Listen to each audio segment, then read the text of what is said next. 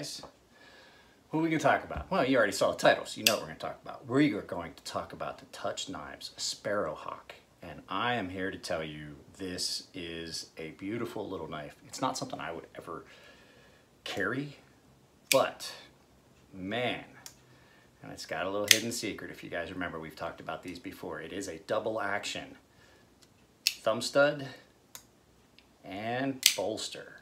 So let's go ahead and turn down the volume because here comes the music.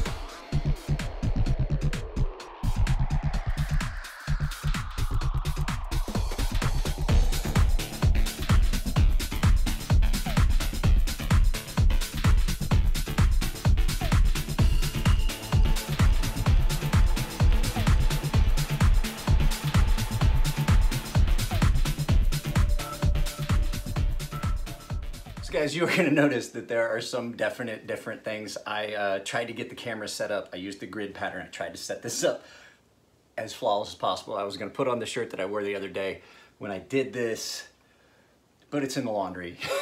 so um, if you guys recognize, I just got done shooting the Master Blaster video and I was like, oh, I have to finish the Tuch, the Tuch knife video, the Sparrowhawk, and talk about it. So we are now, what, three days in the future from when I shot the Tuch uh, video. I shot it pretty much right after Nico got it sent to me.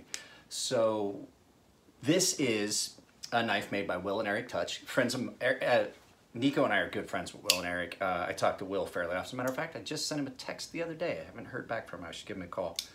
Um, Nico picked this knife up at Portland at Blade West. We went to their shop. He made his order. He reserved it. Um, this is not my typical knife that you're going to see on the channel. This is 100% a full custom. This is 100% made by hand by Will and Eric, uh, father and son team up there in uh, Portland. We, we hung out at their shop, if you remember the first day, the first Portland video. But Nico picked this up. Nico has won one of these for a very long time. Nico picked one up and got a really good deal on it. So without further ado, let's get to what I already shot, which is let's turn this around and shoot it. Now, I'll tell you what happened. Uh, there was something wrong with the video I shot. It was all pixelated and grainy, and it just did not look the way I wanted it to when I was doing edit this morning, so I realized I needed to reshoot this segment. So here we go. We're gonna turn around, we're gonna get some weight, and you're gonna see all the stuff that I filmed three days ago. All right, guys. All right, guys, let's take a good close look at this thing first, because it is truly gorgeous. The handwork that went into this, I mean, honestly, look at that. It's, it's got it's got schmutz on the blade. Let me wipe it off. Um, the the polish on that, all hand done. Thumb studs, all handmade. Everything on this knife is handmade except for the screws right there. Um, and like I said, when you look down here, you can see it's signed, Tuch, Will engraves them. Uh, steel backspacer, titanium liners, a titanium liner lock. The action on it just with thumb stud deployment is still amazing. The feature on it that makes it cool and what really kind of struck us when we were at the show, um, this is a hidden activation auto. And so you push back right there, or you push down here. And you shift that entire scale becomes your button. And then you simply push it back down in. You do have to get it back down in. I have a little mark on my hand. I was playing with it the other day. It I didn't get it all the way closed and it snapped open in my hand. It's it's a pointy it's a pointy little turd. Trying not to curse too much in the videos. Finish on that. Gorgeous. They do some of the best hand carbon fiber work. Look at that. Completely flawless. I'm not seeing any cracking or voids. And if you've ever worked with carbon fiber, you know that like just to drill that hole. Now Nico does carry this. He carries this a lot. And so you see there's some of the best carbon fiber. Usually you have blowouts around holes and everything. Just car carbon fiber is just hard to work with in general. So now that we've looked at it a little bit, let's put it down here. Let's get, uh, first of all, let's get a size comparison. Well, you know, what? we'll do size comparison after we talk about the actual specs. So let's look at this here. This is a, bring you down, it's a little knife. It's a little knife. Doesn't need a lot of altitude. Um, So this knife is, like I said, made by Will and Eric Tuch up in Portland. Beautiful, beautiful work that they do up there in a in a fairly large shop actually for two people.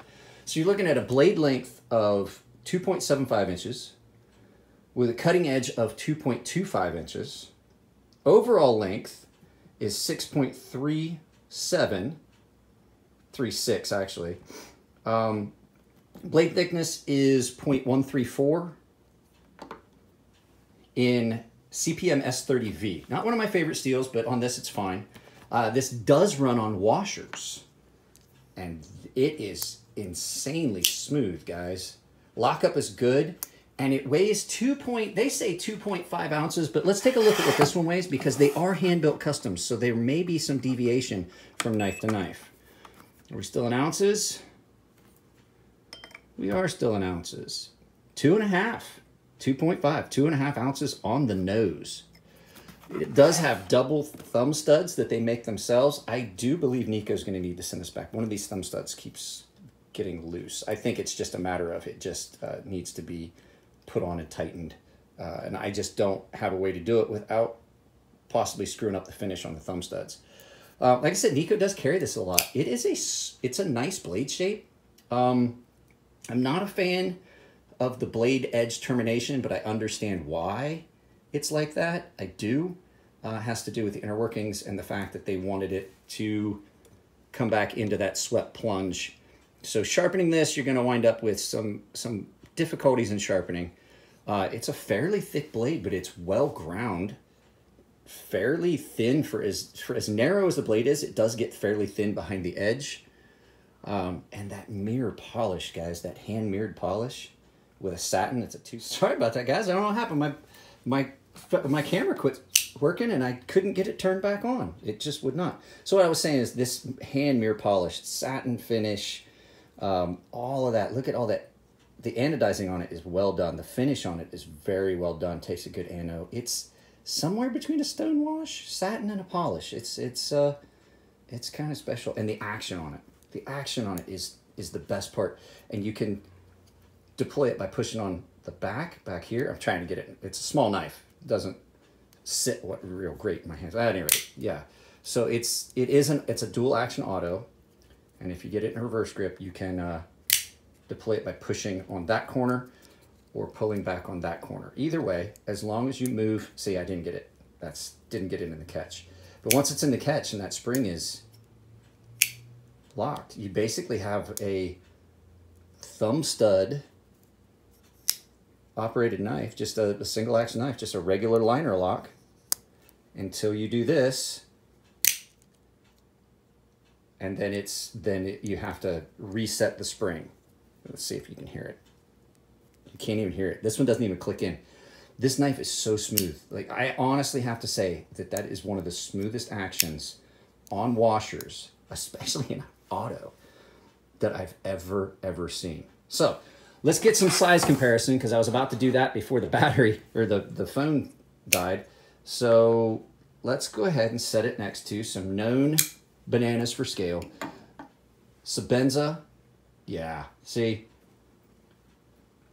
Right there. We'll just use the Sebenza. You're talking, this is a very small knife. It's not a big knife at all. It's a very nice little knife in an attractive, attractive package. And like I said, you cannot you can't fault them on their quality of work with this carbon fiber. Carbon fiber, like I say, it's so hard to work with.